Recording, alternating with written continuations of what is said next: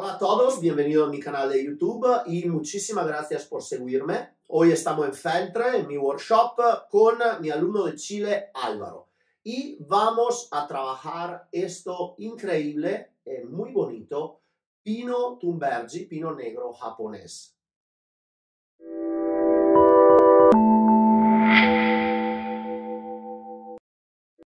Este pino llegó aquí en el uh, workshop un par de meses antes, estaba en la colección de un amigo que lo ha cultivado muy bien por muchos años, pero después un poco perdió interés en la planta, la planta creció demasiado y ahora es tiempo de darle una reestilización. Eran muchos años que yo estaba buscando un pino, uh, un pino negro japonés fuerte, con carácter, y cuando lo vi y me lo ofrecieron, dije, ok, lo voy a agarrar porque creo que puede ser un buen proyecto.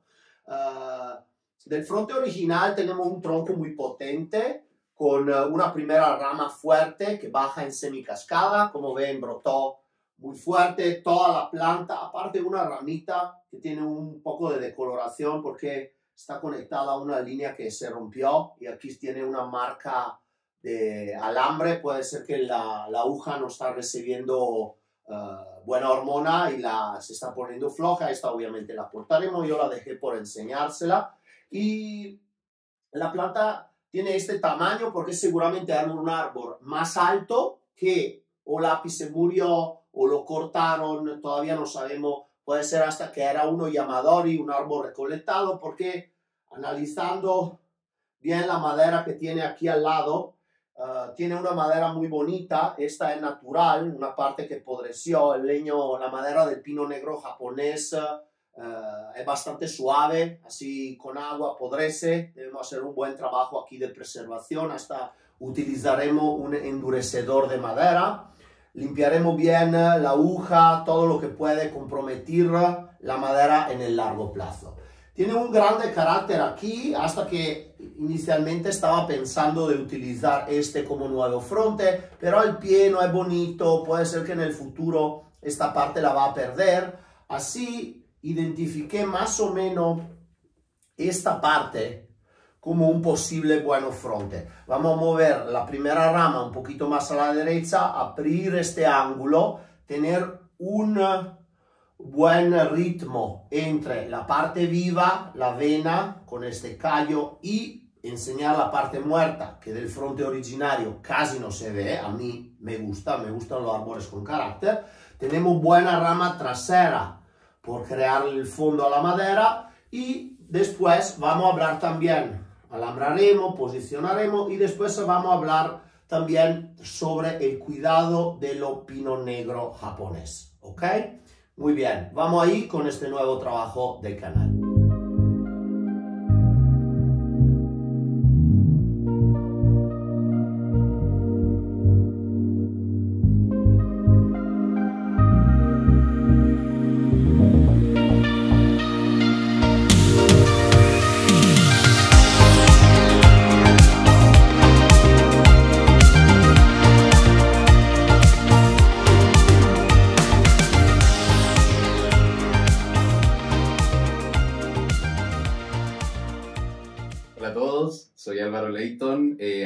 Chile que estoy acá con Mauro, eh, trabajando este pino. Eh, estoy acá eh, sacando toda la parte que está sucia dentro de la madera y es posible sentir que la madera, la madera está extremadamente blanda porque en todas estas oquedades, como se va acumulando la humedad, la madera se ha deteriorado y se siente muy, muy blanda. Está todo una parte eh, podrida. Eh, entonces esta parte la estamos trabajando para poder preservarla y que no se siga deteriorando en el tiempo.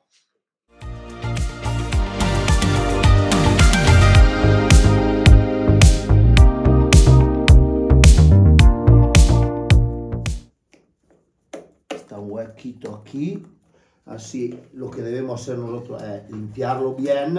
Para que quede libre, que salga. Libre, que así se entra agua por aquí, el agua baja y, y, sale de aquí donde tenemos el desagüe en esta parte donde está tierra. Exacto. La otra cosa que vamos a hacer, ahora agarramos la,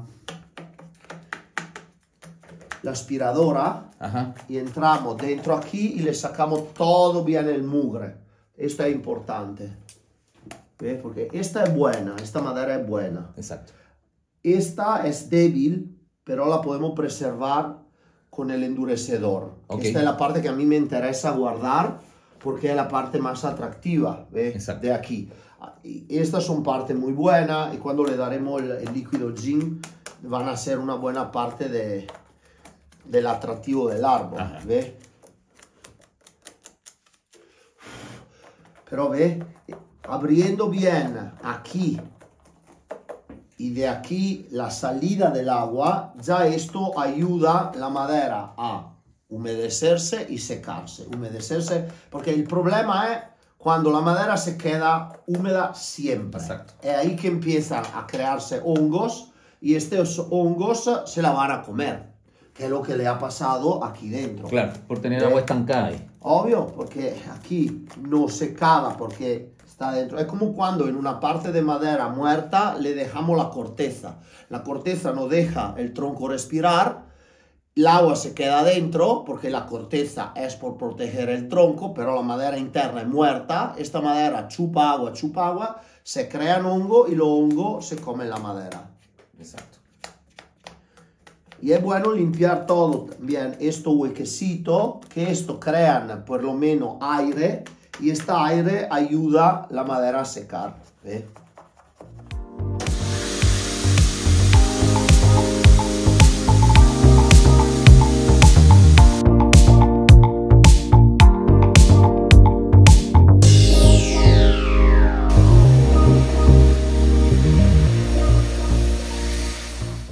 Bueno, acá estamos aplicando el líquido de gin en toda la zona de la madera muerta eh, para evitar que se siga deteriorando más.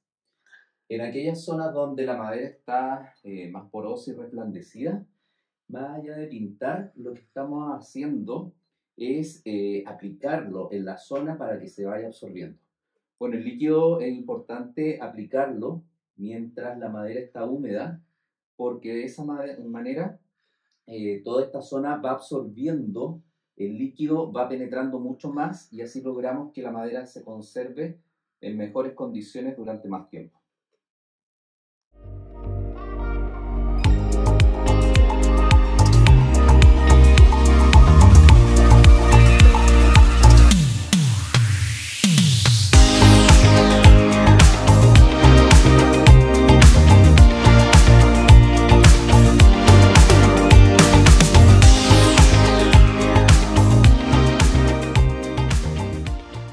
Acabo de terminar eh, la protección de la madera muerta, solo falta el endurecedor en alguna parte, debemos esperar que se seque bien ahora el, eh, el polisulfuro y después eh, daremos el endurecedor. Lo que quiero hacer antes de empezar con el alambrado, voy a dar un poquito más de ángulo por crear un poquito más de movimiento bajante que va a bajar de la primera rama y levantar un poquito más en el futuro esta sección del suelo porque este va a diventarme mi punto focal. Esto lo andaremos a redondear con otra rama de contrabalance y esta la vamos a trabajar como una rama en semicascada o en cascada con diferente capa, diferentes palcos y después vemos cómo utilizar alguna rama de esta parte por crear un ápice que a este momento está un poco planchado. Debemos levantar para crear ápice. Empezamos ahora a alambrar la parte baja.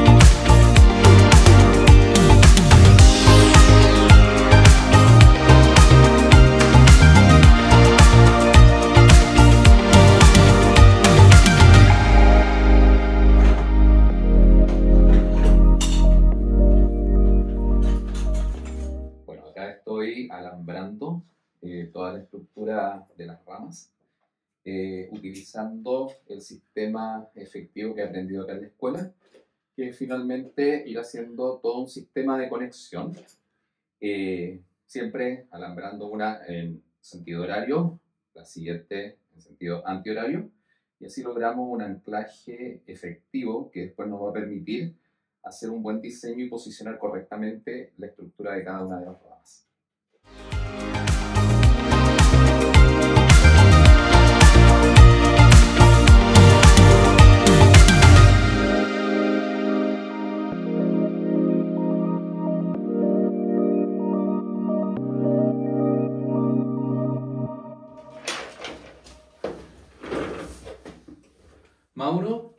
Una cosa, eh, ¿cuál es la diferencia entre el pino silvestre y el pino negro japonés? Bueno, la, la, mayor diferencia es que el pino negro japonés hace parte de lo que llamamos eh, grupo de los pinos a doble brotación. O sea, todos los pinos en la naturaleza brotan una vez al año. Perfecto. En primavera del brote se transforma en una vela, la vela produce la aguja nueva y ahí se acaba.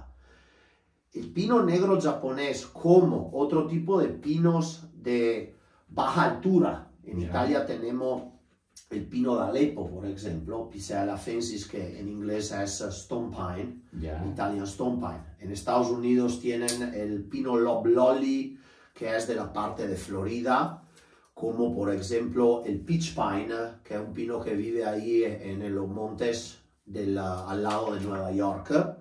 Estos son pinos de baja altura, no superan los mil metros de altura, y porque la temporada es probablemente más larga y el pino es muy fuerte, tiene la característica de tener una doble rotación si le cortamos la principal.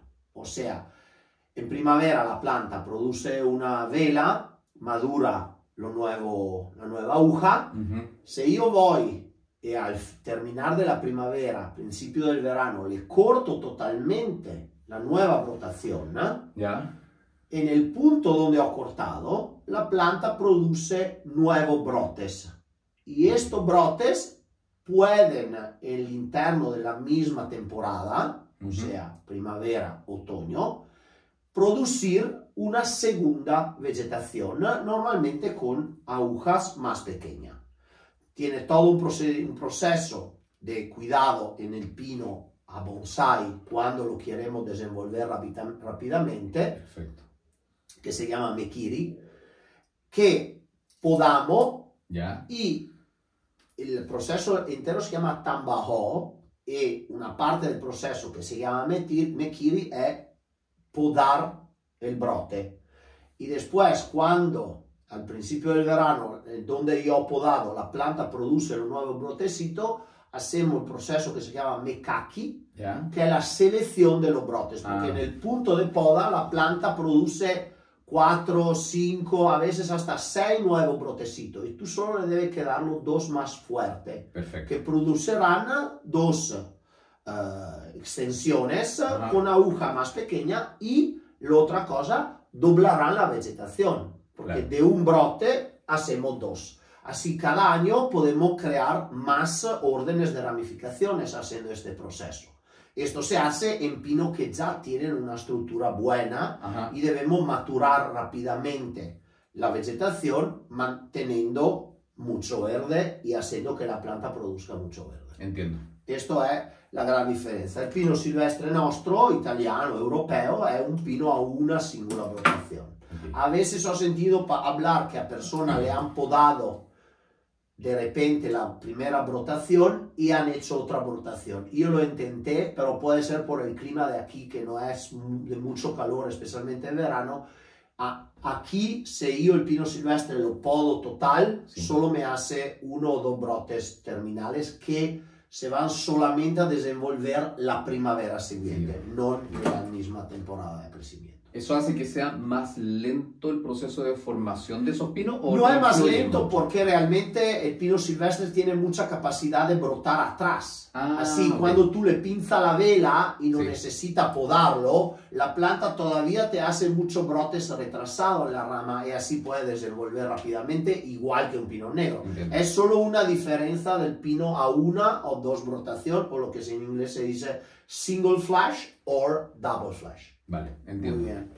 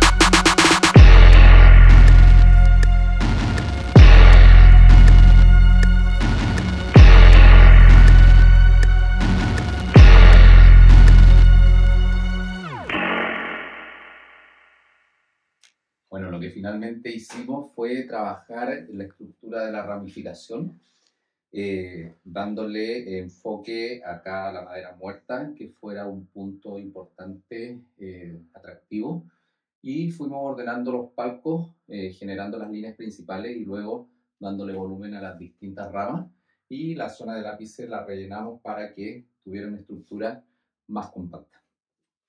Ok, entonces ahora vamos a aplicar el endurecedor de madera, que es de esta marca.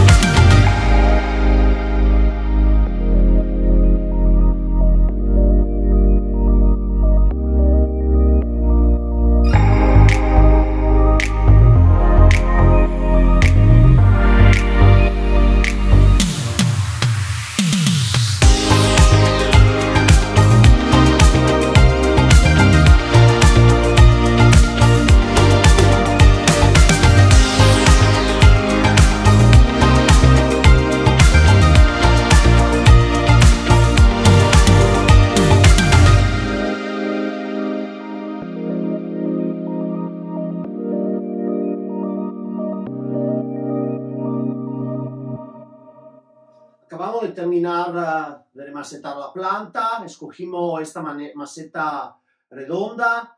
Yo siempre al final y dentro en la maceta le pongo un poco de substrato originario con micorriza originaria que así puede ayudar a la planta a recuperar rápidamente. Por ese trasplante utilizamos un mix de 50 y 50 cadama gruesa y pómice mediana. Esto le ayudará un poco al pino a tener un poco más de humedad de un pino silvestre, que necesita estar más seco, y pero tendrá una buena cantidad de oxígeno por hacer que la planta enraíce muy bien y siga fuerte. Como estábamos hablando durante el vídeo, eh, la, la, manutención del pino negro es una manutención muy peculiar. Yo la tengo en mi libro de bonsai, mi segundo libro de bonsai, Italia Bonsai Dream número 2, con toda la fase del percurso que vamos durante el año por la manutención del pino a doble brotación, o sea, pino negro japonés y pino rojo japonés. Y de aquí esto está unido a toda una parte de vídeos sobre la distinta fase del de pinzado, cortar la nueva brotación, selección de los nuevos brotes, todo lo que necesitas saber por uh, cuidar tu pino negro japonés. Así, si te interesa, me manda un correo y me, uh, me contacta por tener una copia de mi libro. Espero le haya gustado este video del canal. Muchísimas gracias por seguirme. Nos vemos la próxima.